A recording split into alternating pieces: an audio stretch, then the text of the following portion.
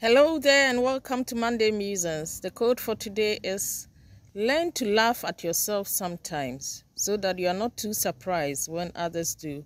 Let me know your thoughts in the comment section and have a blessed new week. Bye bye.